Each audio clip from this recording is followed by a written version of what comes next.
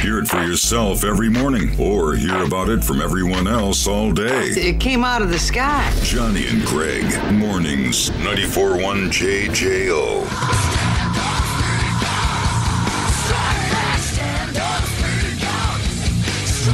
All right, 921. OTEP is on the phone with us. Hello, OTEP. Greetings. Thank you. Hi. Greetings. How are you this morning? I am doing uh, very well. Uh, tired, but uh, so it goes. It's uh, early on the West Coast. Yes, it is. I'm sorry. I know you, you go to bed late. When we're, we're not when we're actually waking up, you're going to bed. So, um, th- thanks for coming on with us to talk about revolution. Oh my God, you you need to come out here. I know. I, I wish I could. I'm in the studio right now recording uh, my new album, but uh, had I not uh, uh, be un- uh, chained to the irons of that, I would definitely be there uh, in full support with, uh, with everybody that's that's taken to the streets in Wisconsin. How amazing is that? It's unbelievable, and we had hundred thousand people here over the whole weekend, and not a single arrest. And you know the Tea Party people obviously were were there to you know speak their side, which is great. I'm like, hey, everybody come out, everybody let your voice be heard. That's totally cool. But when I walked in the Capitol last night and they had the drums going and the chants, and you see all these different people from every background, it was moving. It was ah, it was unbelievable. Well, I think it's it's rather it is. I, I think it's rather uh, gorgeous what's happening. You know, I mean, especially in light of uh, um, you know the the recent tragedy uh, in Arizona with the shooting, and we had all this talk during uh, the congressional elections about Second Amendment remedies and all that. And and what I I'm so inspired about what's happening in Wisconsin and how amazing um, and courageous um, um, those people are is that they've taken on this, this revolutionary spirit, but doing it um, through the power of, of peace, through the power of passion, and um, and goodwill, you know, towards their cause. It's it's great to see to see us uh, Americans, you know, leading the way in, in that in that respect. Hey, uh, OTEP, uh, if you want to say something right now to Governor Walker, he's in his limo on his way to his 9:30 psych evaluation. So he's he's probably listening, having a martini, laughing at all this uh, in his uh, fat limo. So I don't know. That's a rumor I heard. Yeah, uh, I I would uh, I would I would tell him that I think he's picked the wrong fight. You know, you don't you don't mess with workers. You don't mess with the working class. Um, the people that that uh, uh, you know, the world's changing. We're tired. You know, the the we're tired of tyrants. We're not going to deal with that anymore. There's no such thing as as uh, the privileged class getting away with uh, with uh, you know uh, mistreating uh, working people anymore.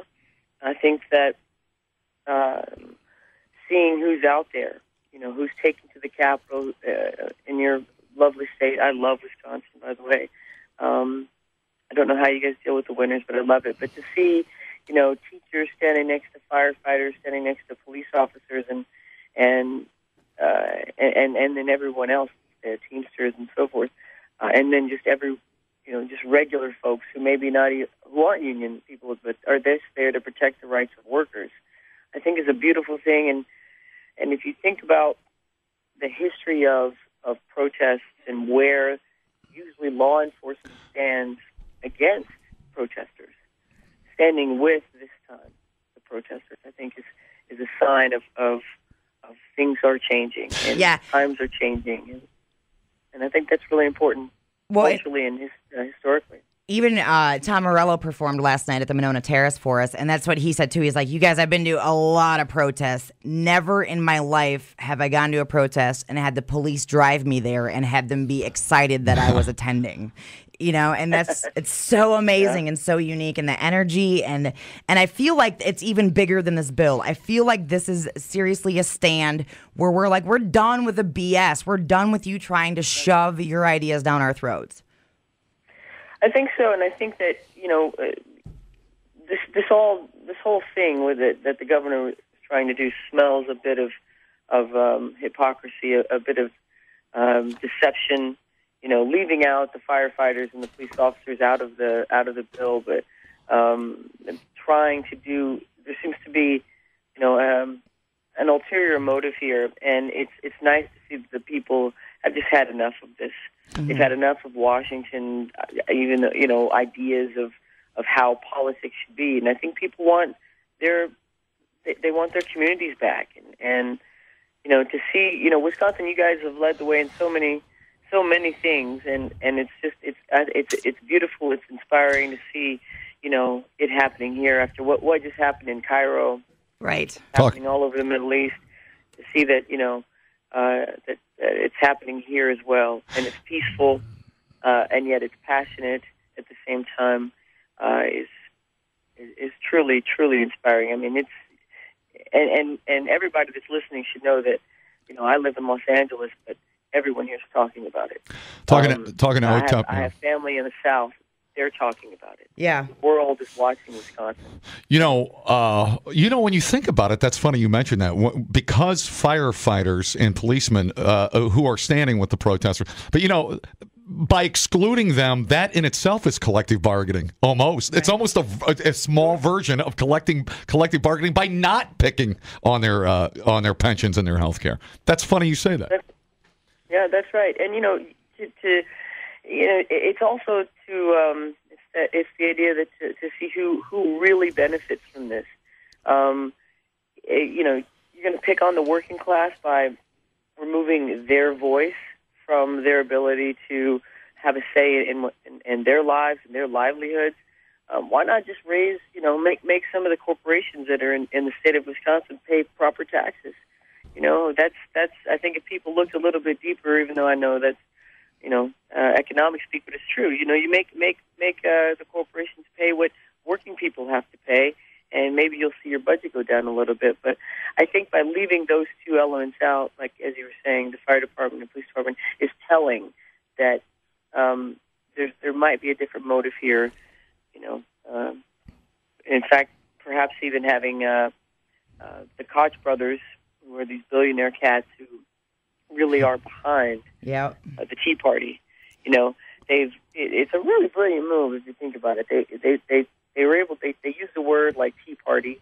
Uh, they made uh, and, and seem to have tricked a bunch of people who are very patriotic, who believe and want change in this country, but they're using all of these words and, and symbols and, and for their own benefit, so that what they can do is they can put people in place that have no no care really whatsoever for Main Street, and, And- really just to secure their their interests on Wall Street. And what they did too was they, if you were against them, they made you feel unpatriotic.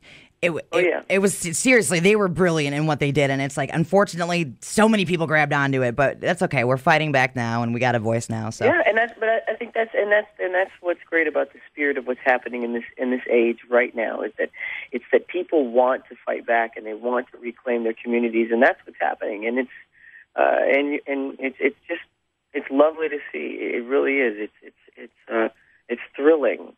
You know, again, um, you know, not to uh, repeat a point, but truly the whole world is watching you guys with, uh, and and it's. Uh, I've got I've got friends. One of my my tour manager is is from Madison, uh, Tristan T.J. Wallace yes, on T Villa.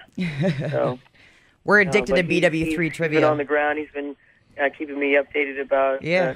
uh, how it's going there, and and you know, really just we're all riveted here. All right, we're speaking to Otep Shamaya. You're in studio right now. Are you laying down vocal tracks for your new CD or?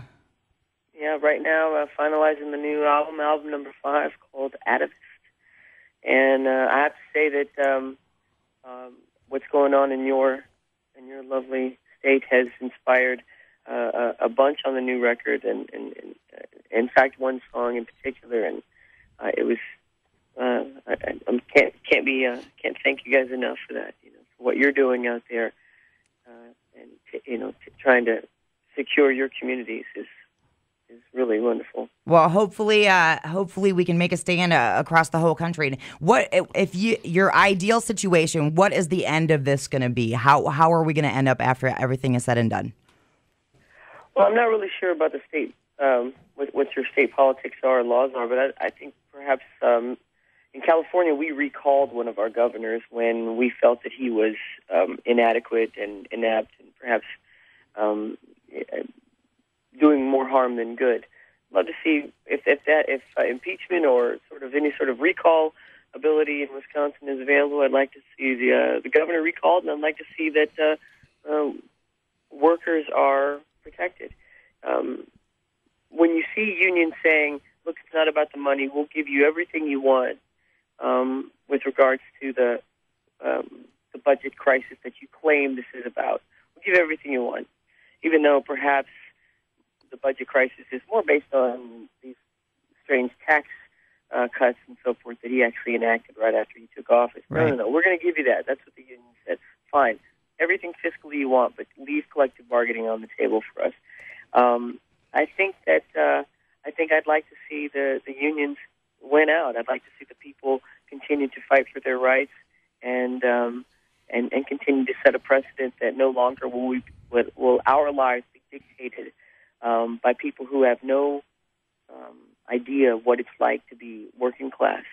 You know, wake up every day and worry about is it medicine, is it light, you know, is it the electric bill, you know, what about my school, you know, what about you know my kids. So funny you just said dictated because he's acting like a dictator and uh, not like uh, we, we got a little republic thing that we're supposed to have going on here. But so so the art of compromise is gone. They had a deal. I mean the, the, the pension and health care. So anyways, we'll see. But uh, man, it's great talking to you. I'm glad you called. Sorry we got your ass out of bed so early. Hey man, I appreciate it. I was excited about this. I barely slept anyway. I really appreciate Well- you guys having me. I tell you what, I'm going to call you tomorrow even earlier and see if you appreciate it. How's that sound? no, it's it's great. Thanks for talking to us. Are you going to play our it. victory party, OTEP? Yeah. Oh, you know what? You guys invited me. I'll come. All right. Awesome. Cool. All right. We'll have a sleepover. Thanks, OTEP. Thanks, sister. All right, guys. Talk Thanks to- a lot. talk to you soon. Talk to the people. you got it. Thanks. Appreciate it. 94.1 JJO.